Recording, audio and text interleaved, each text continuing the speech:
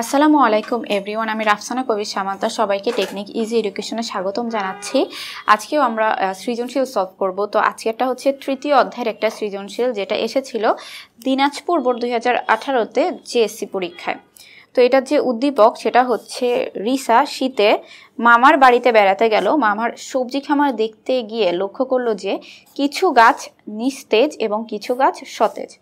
সে মামাকে কারণ জিজ্ঞেস করল। এ ব্যাপারে মামা তাকে উদ্ভিদের পানি ও খনিজ লবণ শোষণ এবং বাষ্পমোচন প্রক্রিয়ার বর্ণনা দিলেন। তো এখান থেকে যে প্রশ্নগুলো করা হয়েছে সেগুলো হলো ক, ইম্বাইবিশন কাকে বলে? খ, মাছের পটকাকে অর্ধভেদ্য পর্দা বলা হয় কেন? গ, উদ্দীপকের তৃতীয় প্রক্রিয়াটি ব্যাখ্যা করো। ঘ, প্রথম ও দ্বিতীয় প্রক্রিয়া দুটি তুলনামূলক আলোচনা করো। তো ফার্স্টে কোনটা? ক নং প্রশ্ন দেখো। কতে বলা হয়েছে যে ইম্বাইবিশন কাকে বলে? তো ইম্বাইবিশন কি? ইম্বাইবিশন হচ্ছে মূলত কলের ধর্মী যে সকল পদার্থ আছে, যেমন স্টার্চ সেলুলোস জিলেটিন, এই সকল পদার্থ যে প্রক্রিয়ায় তরল শোষণ করে, তাকেই আমরা বলব হচ্ছে, এই প্রক্রিয়াকেই আমরা বলব হচ্ছে কি ইম্বাইবিশন তাহলে দেখো কি হচ্ছে? কল এড ধর্মী পদার্থের পানি, শোষণ, প্রক্রিয়াকে কি বলে? ইমবাইবিশন বলে।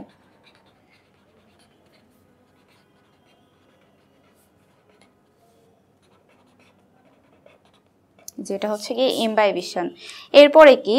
এরপরে ক্ষতে বলা হচ্ছে যে মাছের পটকাকে অর্ধভেদ্য পর্দা বলা হয় কেন? তো এখানে অর্ধভেদ্য পর্দাটা কি সেটা আগে আমরা দেখি। অর্ধভেদ্য পর্দা হচ্ছে আমরা যখন অভিশ্রমণ প্রক্রিয়া সম্পর্কে পড়ছিলাম, তো সেখানে আমরা দেখেছিলাম যে তিন ধরনের পর্দার কথা বলা হচ্ছে। সেগুলো হচ্ছে ভেদ্য পর্দা, অভেদ্য পর্দা, অর্ধভেদ্য পর্দা। তো ভেদ্য পর্দা কি ছিল? আমরা জানি যে দ্রবণের মধ্যে দুই ধরনের উপাদান থাকে। একটা হচ্ছে গিয়ে দ্রাবক, অর্থাৎ যে যে উপাদানটা বেশি পরিমাণে থাকে, আর একটা হলো দ্রাব বা দ্রব। অর্থাৎ যে উপাদানটা আমরা দ্রাবকের মধ্যে দ্রবীভূত করি।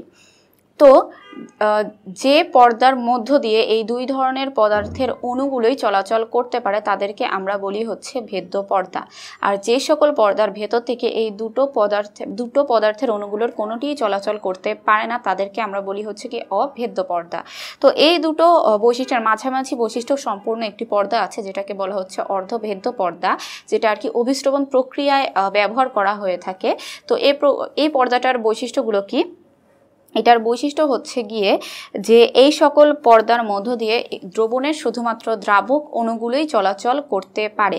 তো তাদেরকে আর কি অর্ধভেদ্য পর্দা বলা হয়ে থাকে। এটার একটা বিশেষ উদাহরণ কিন্তু মাছের পটকা। তো যেহেতু মাছের পটকার ভেতর থেকে শুধুমাত্র দ্রবণের দ্রাবক অণুটাই চলাচল করতে পারে, এজন্য এই সকল পর্দাকে অর্ধভেদ্য পর্দা বলা হয়ে থাকে। তাহলে অর্ধভেদ্য পর্দা কি?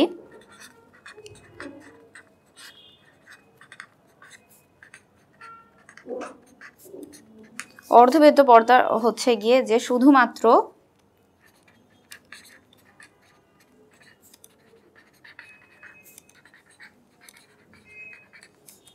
দ্রাবক অণুগুলো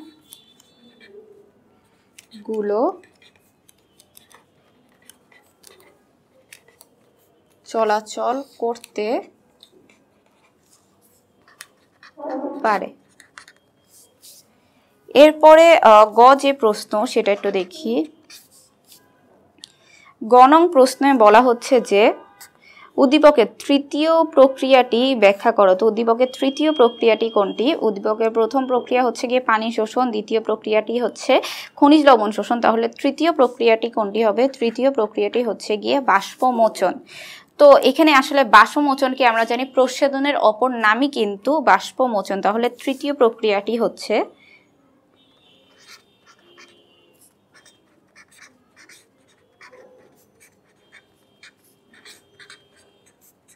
প্রচ্ছেদন।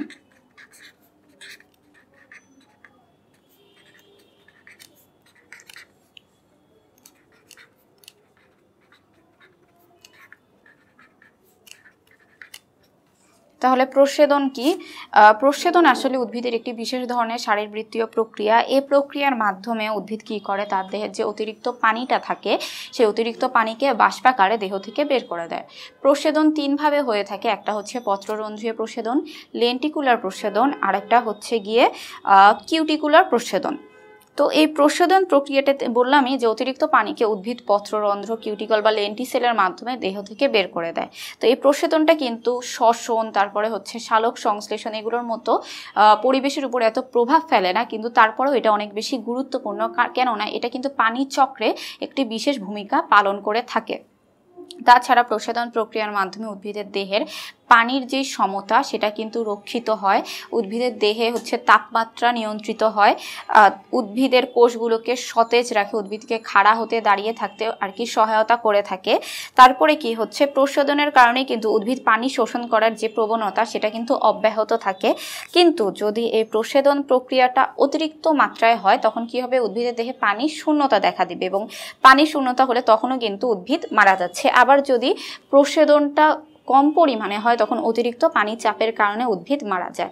তো যেহেতু অতিরিক্ত প্রসাধন হলেও উদ্ভিদ মারা যায়, আবার একেবারে প্রসাধন না হলেও উদ্ভিদ মারা যাচ্ছে, তো এজন্য এটাকে কিন্তু নেসেসারি ইভিল বলা হয়ে থাকে। কেননা, একদিক থেকে প্রসাধন যেমন একটি গুরুত্বপূর্ণ প্রক্রিয়া, অপরদিকে এটা যদি অতিরিক্ত মাত্রায় হয়, সেক্ষেত্রে এটা উদ্ভিদের জন্য ক্ষতি সাধন করতে পারে। তো এটা ছিল হচ্ছে আমাদের এই যে তৃতীয় প্রক্রিয়াটি, অর্থাৎ প্রসাধনের ব্যাখ্যা। ঘনং প্রশ্নে দেখো কি বলা হচ্ছে? প্রথম ও দ্বিতীয় প্রক্রিয়া দুটির তুলনামূলক আলোচনা করো। তো প্রথম প্রক্রিয়া কি? এই যে পানি শোষণটা হচ্ছে গিয়ে প্রথম প্রক্রিয়া। দ্বিতীয় প্রক্রিয়াটা হচ্ছে গিয়ে খনিজ লবণ শোষণ।